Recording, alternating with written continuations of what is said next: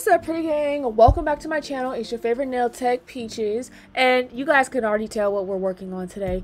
We are back with another acrylic toes video. You guys ask for them all the time. It doesn't ever occur to me that i really do one only every like couple of months. Not on purpose. It's just i be so busy um that sometimes it's it's much harder to record feet if you get what i'm saying okay? So today we are doing a milky white set. You guys here is a before and after she already had a pretty good base to work with, but you know what I always say, white acrylic is tricky and that doesn't change just because it's on toes, okay? So before we go ahead and get into it, let's get into our subscriber shout out, which goes to Gianni Wright, subscribed since October 11th. One of my clients, shout out to you, boo. Y'all already know. Click the notifications on because, listen, if your notifications is off, how the hell you gonna know what I'm on, okay? Subscribe, all that good stuff.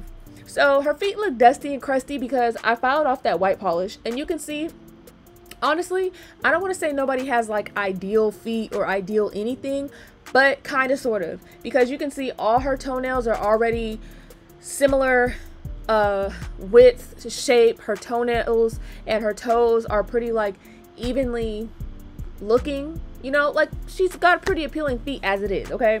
So it's going to be much easier to go ahead and do her feet. At this point i've done so many types of feet i don't even want to say one type is easier than others. But if you're a beginner these types of nail beds um because there's a lot of space they're not too small they're not you know what i'm saying?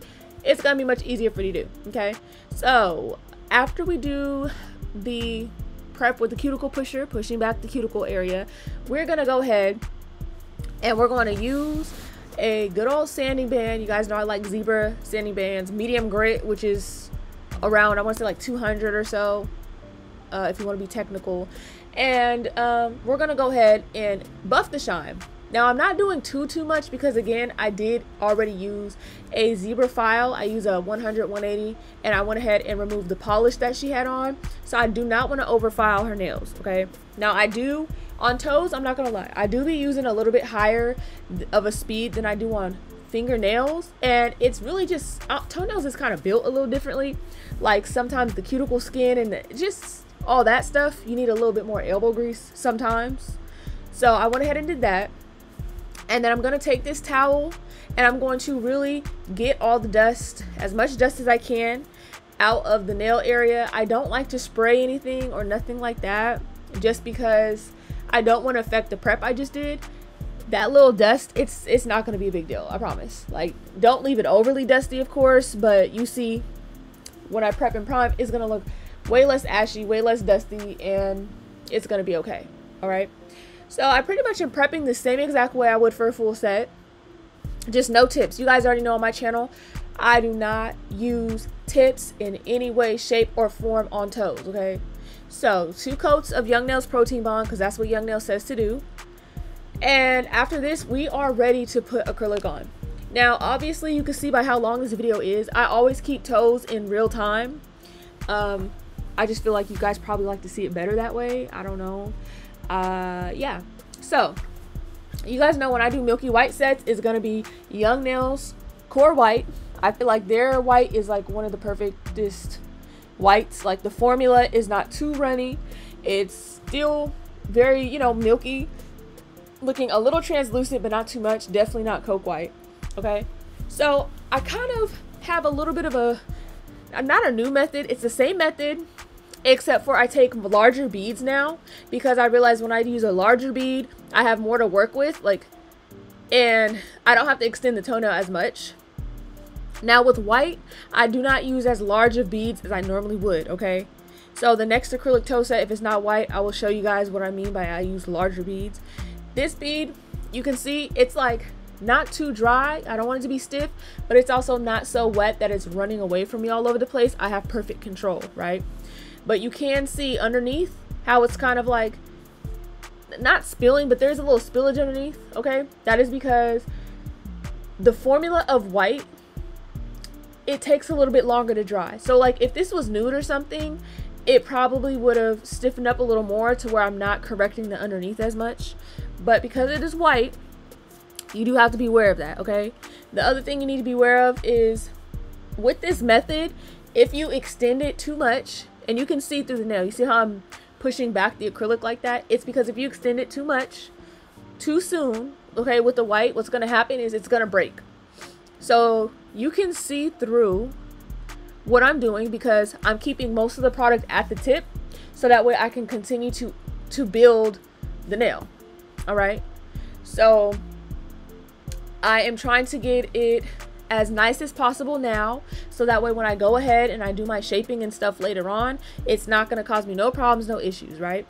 We need to make sure that the acrylic is tucked into the entire um, area around the cuticles, okay? Same as nails. Because the thing is, if you do not do that, you're gonna have areas of their real nails peeking through, and that's not gonna be cute, okay? So you can see, I'm adding another bead. And like I said, I know there's like dust and stuff in there. As I go, I am gonna try and, you know, get some of it out. But what's gonna happen is like those areas are gonna basically get filed down when I'm filing the cuticle area. So right now they're not gonna get in the way and they're gonna be gone, okay? So this next bead, normally I would have used a bead large enough just to like get all the way into the cuticle, but white takes longer to dry a little bit, okay? So I do not want to risk having any flooding because I just don't want to deal with it, okay? Do you see how I'm going sidewall from sidewall and over that area that was like pretty opaque and see-through and translucent? I am pulling the white. See how I'm not swiping?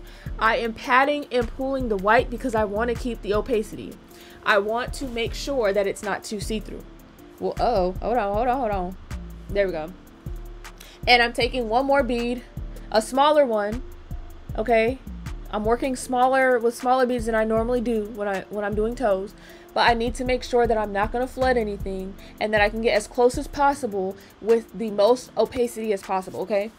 The thing about working with white in and doing toes is because I am using it to actually build out the nail. Sometimes you will have areas that is very milky looking and very um you know like very translucent and that's not what we want because with milky white you want it's okay to see a little bit of the color through the um the white a little bit of you know the natural nail color but we do not want to be seeing whole areas of like where the where you can see where the tip is at. We don't want that, okay? I don't want to see no yellowing, no pink, none of that. So I'm going in with even smaller beads and I'm making sure you see how close I'm getting up to that um, eponychium, okay? In that cuticle area, you guys, the eponychium is the skin actually around what y'all refer to as the cuticle, all right? But I'm taking smaller beads to make sure that it is nice and even, not only in like the opacity of the actual color, building up the color. But when I go and file, if it's not evenly the same like built upness, okay, we don't want to, they're not going to be thick, okay? But if it's not built up the same around the whole cuticle, it's going to give lumps and bumps. And lumps and bumps is for who? Is for chumps, okay?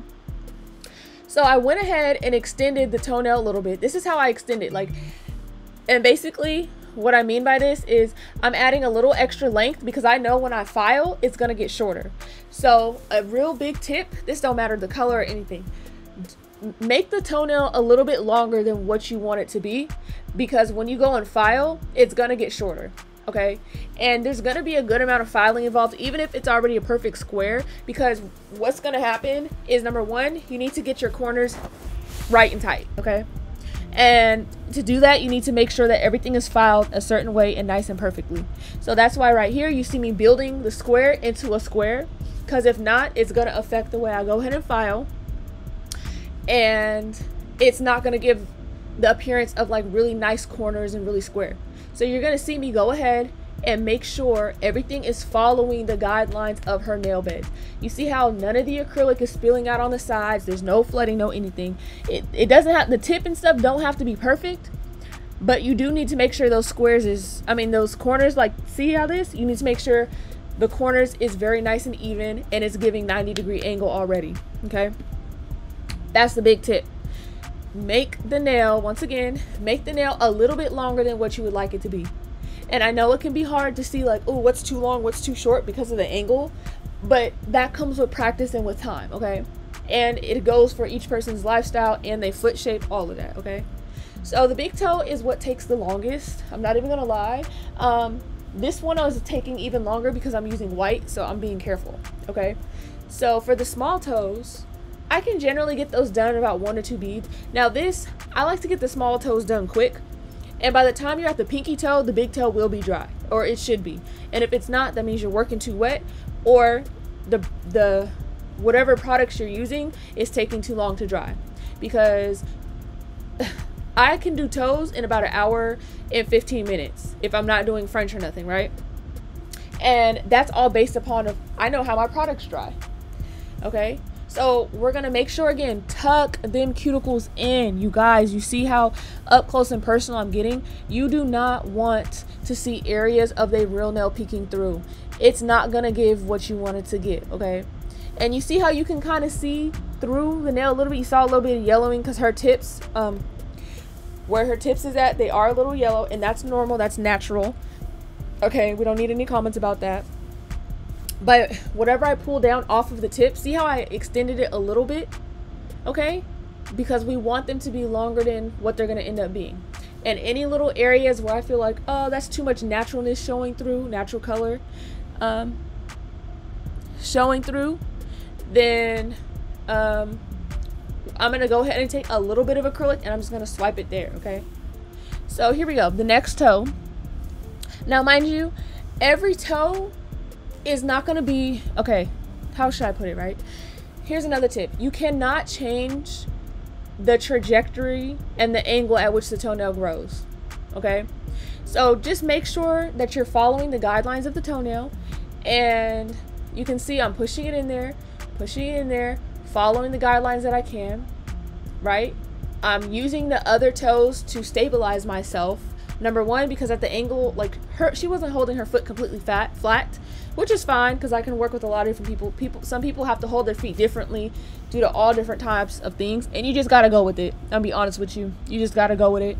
So I'm basically using her other toes to stabilize myself, so that way, number one, I can stay within the camera frame, and number two, I can do what I need to do. Okay, because you have to learn how to hold different types of toes you have to learn all different types of positions. It's crazy, okay? There's so much that goes into doing toes. People think it's just like, oh, it's just so easy, da da da. It's easy now because I've been doing it for a couple years, but like at first it was intimidating, okay? So make sure you tuck everything in, right? So you can see the toe next to it, uh, going back on what I was talking about, okay? The toe next to it, the ring finger toe, you can see that one grows a little bit at an angle and I'm not gonna try and go against it and try and form the nail to to like oh you know go opposite so that way it doesn't look like it's just just go with it because they're meant to be natural. And at the end of the day as the toenail grows in if you do try and like oh let me try and make this look straight or oh that toe that toe is naturally crooked let me try it's gonna look stupid when it grows in. Okay? So please keep that in mind people's feet and toenails and everything comes in so many different shapes and sizes.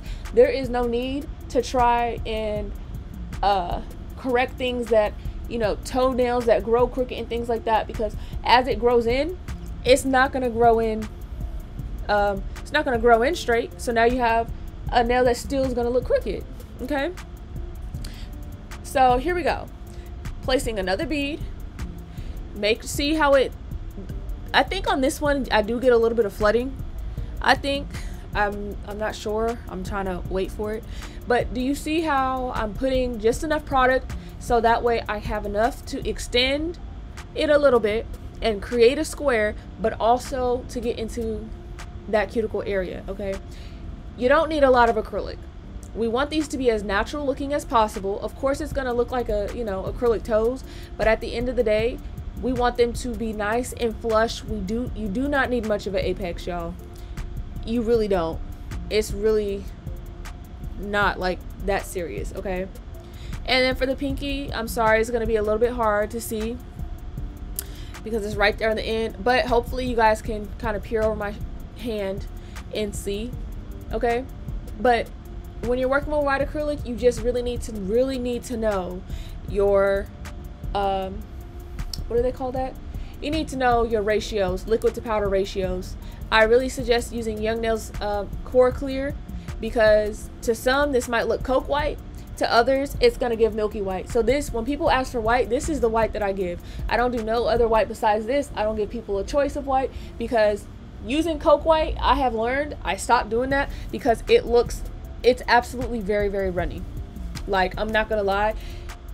White is one of them colors, and so far, um, Young Nails Core White is the least runny white that I have used in my entire nail career. Okay. So you can take a look, you can see. Okay. Everything is nice and on there, right?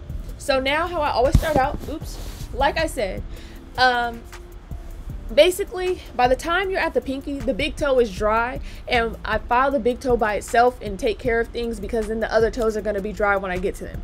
That's another big tip that i could give you.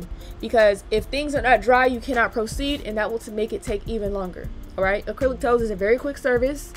People don't have time to be sitting there all day for two three hours the same as a full set okay? In my opinion. So I go ahead, I square it off to make sure everything's cool. And then the next thing I do is I go ahead, I take my e-file.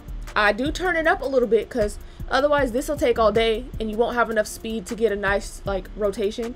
I go underneath and I thin out the tip. Okay, and I smooth out the top. You can see it's not a thick big toe.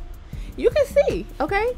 I'm going in there and I am going ahead and sealing off the cuticles, okay? Now I'm looking underneath to make sure because I did extend it and because this is an overlay and not tips, there's going to be acrylic that is possibly like, I don't want to say stuck to the skin, but it's gonna, it could possibly look a little thick under there. So that's what I'm doing right now. You see, I'm going to the sides. I'm making sure that no matter what angle you look at, it's not to look like, oh, this, this acrylic, you know, like, oh, I made this toenail. I want it to look as natural as possible. And this is part of that process. Now be careful because you don't want to cut anybody because you absolutely can. This is why typically I use a zebra file 180, uh, 100, 180 because one side will definitely get it done, but also it's not as sharp as a black file. The only times I use a black file is if somebody, I just did a full set on somebody and then I'm doing their toes because the file is doled out by then, so it won't be as sharp, but it definitely does a little bit of a better job, like a quicker, a quicker job, okay? So, I'm going back and forth between squaring off the tip, and every time I square off the tip, I am going underneath my e-file because it exposes more thickness, you see? So as you shorten the nail and file it down, you see under there, I'm making sure that the thickness, it's hard to see you guys, but I'm making sure that the tip is not thick and I'm making sure underneath does not look bulky. Okay? Because underneath it will look like a, a mound of acrylic under there because of how I I dragged the acrylic down, I patted it down. And I'm making sure those cuticles are nice and flush. And I'm making sure everything is nice and squared off. Okay? So, you can see this particular length of big toenail, that's a nice standard length. Okay, the only time it's really too much longer than that is if someone already has toenails that are a little bit longer than that and I'm I need to extend it more to accommodate for the filing or if they're coming back for a fill okay? So like I said now the next two toenails are going to be dry for a fact. That's something I know for a Fendi fact okay? I do the same thing. And you have to know how to hold the toenails okay so you see how I'm maneuvering the toenails, I'm going ahead. Like I said, the file is on a little bit higher than what I do for, for fingernails, just because for toenails, this process of going ahead and thinning out the tip, it requires a little bit more speed. So you have to be careful with this because you can't cut somebody. But do you see how I'm, I'm holding the skin back? And I do file the sides. I don't know how many people do this, but it just adds that little something, something, that extra, okay? I pull down the skin in the front of the toenail. See how I pull it down to file? Because that is a tip for you guys. When you pull down the skin, you can see the true squareness. Some people do not pull down that skin in the front, and the, the front of they square, it's like the corners are square, but the front is kind of bowed, or it's kind of like a little bit rounded, and it's not a perfect square, okay? So this right here, them two, pull down that skin in the front when you file and go underneath here to make sure the tips aren't thick. Because if someone sees your toes at a certain angle, like it's going, you see this? It look thick. We don't want it to look thick, okay? People shouldn't be in your business that close up, but we don't want that. So you can see how I, I, I take my time. I go back and forth to get the best result that I can. So I was just checking that it's dry. That's what I do. I scratch it with my thumb. I go back and forth to get the best result that I can. And that's my tips. And that's my own personal trick, okay? I don't think some people pay enough attention to how much time they spend. But like I say, it only takes about an hour 15, hour 20 to do a whole set. Um, if I'm doing French tip, that's probably going to add an extra five minutes. But um, yeah, this is a really quick service. I do acrylic toes every single day, at least one or two times a day, um, if not more, depending on who's booking for where. But it all this takes practice, you guys. Um, I don't know if this is just a satisfying process for people to watch, but acrylic toes is like my most viewed videos on my channel. Like y'all, like literally like seven thousand plus views on acrylic toe videos. So I guess I need to start doing more of them. Um, let me know in the comments if you guys want to see a lot more. Um, yeah. So again, I like to file the sides. Everything you do, it needs to stay within the confines of them, of them now. Um, y'all, I cannot talk. I'm sorry. Of the side walls. Okay. So again, you see, get up there. Be careful with this. I like to pull the skin down. I'm probably gonna do it in a minute. Yeah, because at a certain point, I don't want to cut their their uh, toe. Okay, because the, the file, no matter what, is gonna be sharp. I don't want to cut them toe. I don't want to make them bleed. And then I go over top just like normal, because I like to make sure everything is smooth and a little more thinned out, not bulky. Now, again, going back to because we're using white, be careful how much you file, um, because the because this is a milky white and just even white in general the more you file it the more you're breaking that color down and you can file right down to the natural nail and then you're gonna be like damn I have to go back in with more white okay? Because now the color is affected. So really with your application make sure that the toenails are not too thick so you can avoid too much filing on top. Make sure they're not too bumpy okay? Like I said, I personally go back and forth because I like to maintain the crispness, but you guys already know this. Anytime I do something to one area, if I'm filing the tip to square it out, I'm going to go back and I'm going to do uh, this filing process, go under with the e-file. Now, I'm not over filing their nails or anything like that. You see the type of strokes that I'm using. I'm not staying in one area too long or anything like that. But to get this natural of a look, it is going to be a back and forth, okay? So see if I'm filing like this, to get that shape, I'm gonna make sure I thin the tip out. And I'm gonna file until I feel like I have a shape and a length that fits the toenail, okay? And just keep in mind, most people do not want super long toenails. Their toenails will grow as they get a fill, and then from there, I'm not gonna like file them all the way back down to scratch unless someone asks for that. But I always tell people, especially if they have shorter nails, look, the more you come and the more fills you get, the better your result will be. But if you if you have toenails like this particular client does, you know, her toenails were already a, a decent length, really, you're gonna have a really, really great result, like off tops, right? So I know this video is long, I know I'm talking a lot, but I I really just wanted to come like I said, my last acrylic toes video was two months ago. I didn't even realize. But I wanted to come and just really give you guys some real, you know, tips and tricks, especially because I'm using white this time and white is a tricky color. Um, so yeah, I'm just going back and forth on these last two toenails so that way I can really make sure that I have a really, really great um, look. I am, you guys know I'm a sucker for symmetrics. I like everything to look like it belongs. It goes. I take a lot of pride in my work. So that's why I double, triple check. I go back and forth. I just continue to make sure everything is what it needs to be. You see what I'm saying? Hey.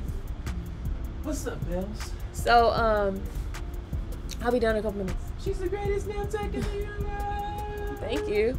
So, this is why I go back and forth, back and forth, back and forth. And once I feel like, okay, this is giving me what it needs to give. And you know what? The way I hype myself up during this whole thing, and I hype my clients up, like, girl, uh, please. Yeah, I had to get a video. And you know what? I took a video of the big toe. I'm gonna try and insert it. If you guys don't hear me talking, because I might insert it later. I don't know. We'll see. But there's videos. I, I put in plenty of videos in here already, so it's like a it's cool. So now at this point, I go to sit next to the client basically, and I look and I analyze from their angle and make sure is this giving what it needs to give? Is is everything straight? Are the lengths matching up? And I make any adjustments I need to make, as you will see. Because to me personally, I need I need to see from both angles. Like I already know it's gonna give from my angle, but I just have to double check. And then of course I go ahead and spray the foot down. I didn't mention this before, but you guys already know I spray the foot with like sanitizing spray before I start. But of course there's no fungus, there's no nothing to be concerned about. So this is so that way I can get rid of all the dust before I top coat. Because I don't want any dusties in my top coat. And this is a quick before and after. I thought this would be interesting to show. Like, her toenails were not in a bad way at all, but acrylic toes definitely give that pop. Okay, they definitely do. So, here we go. We are top coating. And when it comes to top coating toes, the best thing I can say is keep it thin. Keep it very thin because you do not want top coat dripping where it doesn't need to be and just you can just really see how these look like she grew them it looked like her toenails grow this way or it just y'all like it's so amazing to think like this is really my job this is really my life like these are the results that i provide it's it's it's something else y'all it's really something else like this whole I'm just surprised that anybody even wants to see me do acrylic toes. Like I know in my city, you guys know I'm in Sacramento. I'm like people tell me that I'm one of the only girls in Sacramento that does toes like in any type of capacity, let alone acrylic toes. But it's still crazy to hear that like people like people drive a couple hours to come see me for stuff like this. Like it's it blows my mind that I've been blessed in this type of way to attract people that think that my work is up to this type of you know standard like it it just it brings me such joy that i can bring people this type of joy like how happy they are just over their feet, you know? Like it's really crazy. Like I'm not trying to make it seem like I'm better or brag on anybody, but when I'm so go go go and busy, I don't take a minute to think about that type of stuff sometimes, you know? So I always oil up the cuticles and the feet so we can go ahead and get videos. I hope you guys enjoyed this video. I really do. This is the first white toes that I've done on my channel, I believe. And um yeah I, I really i really did enjoy making this video. Like these these they couldn't have came out better honestly. Uh, let me know what else you guys want to see. Don't forget to comment like subscribe turn on your damn notifications so you can know when i'm uploading because i try to continue to give y'all videos on the daily okay? Follow me on instagram at nails by pretty face. And once again i hope you guys enjoyed this video. I'm pretty gang. Y'all already know what's good. Here is the final result once again. Once again, once again. Come on now. Come on. And y'all already know, I'll see you in the next video.